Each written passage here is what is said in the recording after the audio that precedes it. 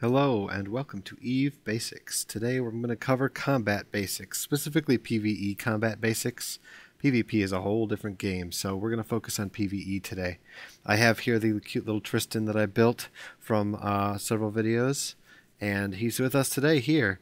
He's going to help me show you combat basics. Now the first thing we got to know about combat is how far away from stuff do we want to be. It affects how we attack it and what we're doing. If you hit escape and open up your shortcuts, there's a few uh, hotkeys that you need to know as well. Um, one is what your orbit hotkey is set to. Mine's O for orbit, but I think the default might be W. I don't know. Um, you need to know your orbit hotkey, your keep at range hotkey, um, everything about your drones. If you have drones, um, your engage, return in orbit, return to drone bay, and launch drones are all really good ones to know off the top of your head. Uh, the faster you can hit the hotkeys, the better off you're going to be. Um, so look for those. Make sure you know what they are. I've already accepted this level 1 security mission here. And I've got my little Tristan. And the first thing I got to check before I head out into the wild is make sure I got enough ammo and make sure I got enough drones in my drone bay.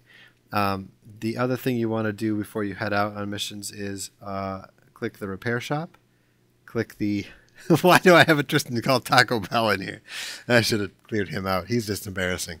But we're going to do the EVE's Basics Tristan here. We're going to click Repair. Uh, he actually has a slightly damaged Hobgoblin. This will repair not only your ship if it's damaged, but also any drones that are on there. And so I'll repair this drone. Sure, why not? Make sure all your drones are at full health, and that way you won't get out there, start launching your drones, and realize that most of them are beat to shreds. So, uh, you know, repairing is good. Okay, we're going to undock here and we're going to go uh, fight this mission and I'll kind of explain to you what I'm doing along the way. Okay, in order to get there, this fortunately just has a warp to location thing. We're going to make sure that our guns are grouped. I'm going to ungroup them here. When you build a brand new ship, your guns are ungrouped like this. But this causes you to have to push two buttons, and that's too many. So if you push this little group all weapons, they'll group up like that, and then they're just on one nice hotkey. I always put my guns on F1, because why not? Um, and I always usually put my afterburners in F2 because why not? And all the passive stuff, you can actually hide this too. It doesn't really matter, but I like to have it down there because it's pretty. So when we warp to the mission location, we run into an acceleration gate. This is a little gate that'll shoot you into the other parts of the mission. So if you hold left click and do that, or you can also right click it and push activate gate, whatever you want to do. There's lots of ways to do it. There's also a hotkey for that as well, if I remember right. Um, yeah, activate gate. It's the same as your dock and jump and activate gate. It's for me, it's J for jump. I don't think that's the default. So here I am. I'm warped into the mission. Now I like fighting in close because it looks cool. But when you get here, you gotta get the lay of the land. So zooming out, rotating around, kind of figuring out what's going on. It looks like I got three clumps of guys. And when they go yellow on me like that, that means they are uh, locking me as a target. And when they start to go red, that means they're going to be firing stuff at me. So I'm going to turn my afterburner on and I'm going to put Shift F to get my hobgoblins out into space. Now, first thing we want to do is pick off the close groups. So I'm going to hold Control and left click on these guys.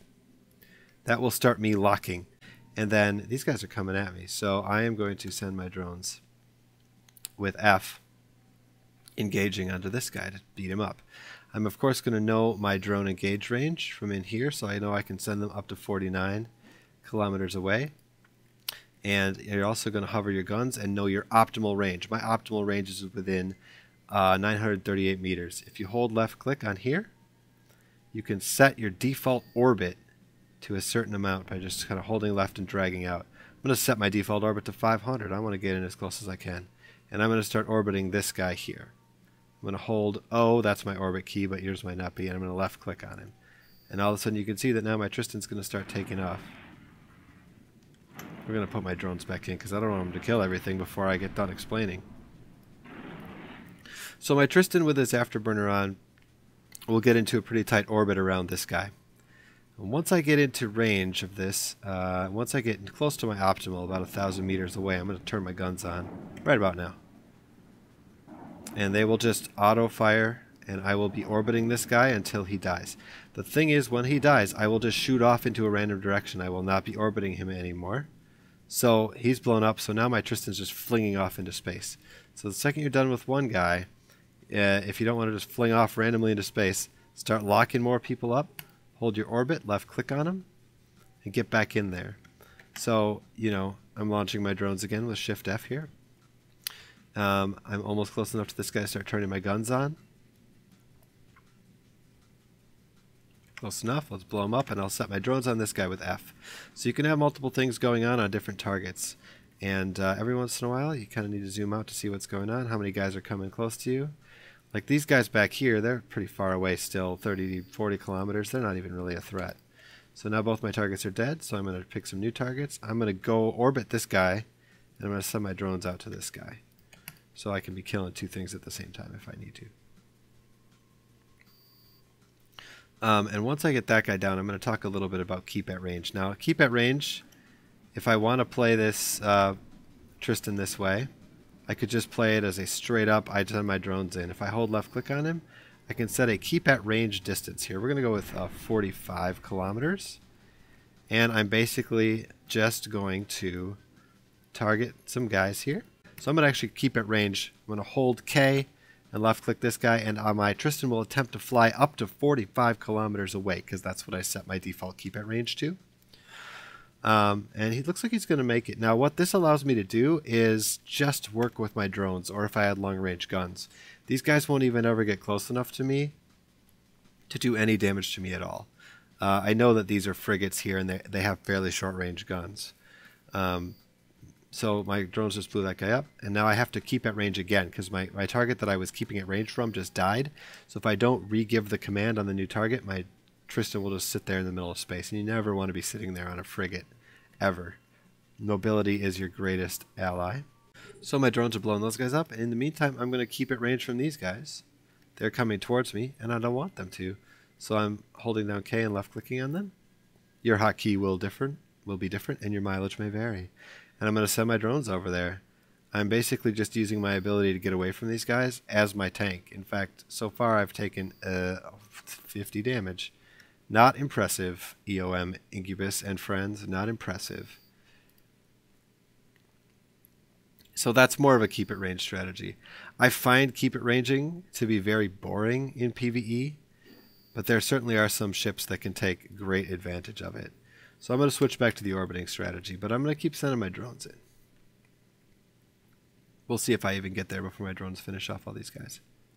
I'm pretty fast in my little Tristan, but my drones are pretty fast too. Remember, once the target you've given a command to orbit or to keep it range dies, you need to give it to a new target, otherwise your ship will stop moving. It doesn't know what to do with itself. But now my drones are just shredding all these guys before I even get there. Um, so uh, my skills are fairly. This is my main, so my skills are fairly high. You you might have to use uh, a mix of, of orbiting and drones to really deal with some of this stuff. Um, this is just all a demonstration. So then again, when you kill stuff in security missions, sometimes more dudes just show up. So what you see at, at the warp in the initial fight, it might not be what you end up with. So you know you got to be a little bit careful about that. The other thing you need to watch out for during combat is if your drones start taking damage, whatever drone has drawn aggro, you need to right click it and you need to return it to your drone bay. Um, it's going to save you a little bit of time. Drones do require a little bit of micromanaging in missions from time to time. In this one, nobody's been targeted yet. Um, but it can happen where they draw aggro. And if they do, you need to just pop them back into your drone bay. Their shields will regenerate in there. Uh, their armor and, and hull will not, but that's okay. That's what the repair shop's for after the mission's over. So maybe this will be the last guy. Let's shoot him with our guns to make sure. Okay. Yep, nobody else is showing up, and it's giving me the dock uh, icon here, which means I can go back to base. Now, here are all the wrecks. Okay, if they have a little gray box inside, that means there's loot in there. If you hold left click and go to open cargo, or you can right click and say open cargo. Uh, there's lots of ways to do it. You have to be within 2,500 meters and it'll open it up. Ooh, there's stuff in there. Loot all. Um, I have found that looting uh, and and in level one missions is not really that lucrative, but it can be kind of fun. Um, flying around to all of these ships with your frigate doesn't take terribly long, but there are better ways to do it that we'll talk about in another video. Once I've cleaned out the boxes, there is an empty wreck here. This can still be salvaged using uh, salvager modules that will turn this uh, wreck of a ship into handy dandy ingredients that you can use to uh, construct other things or sell on the market. So, what am I going to do? I'm going to warp back, but not before I pull my drones in. Shift R, everybody back in the Tristan. Leaving drones in space will make you sad. Please remember to put them back in. And then I'm just going to click dock because I've done my work here. And we're going to go turn this mission in. Um, that's the basics of combat, at least in a drone ship with uh, these railguns. Uh, combat is pretty straightforward.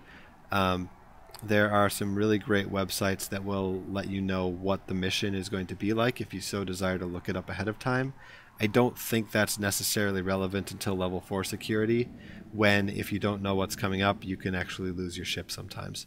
Um, you just, if you're careful and you use uh, a mix of orbiting and uh, keep at range, um, depending on what kind of ship you're flying, you should be in pretty uh, good uh, hands. So there we just finished our mission and I hope you liked my video and leave me some comments if you have any questions about how to fly your ships. Alright, see you next time.